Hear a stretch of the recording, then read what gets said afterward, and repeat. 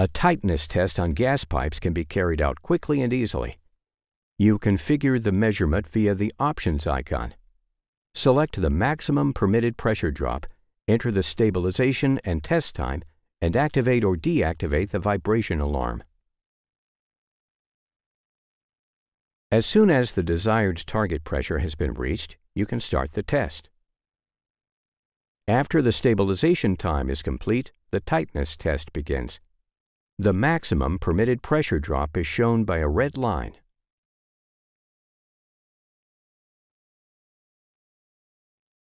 The result can be saved and sent as a report. In addition to the usual input, the test gas and the measurement result can be selected.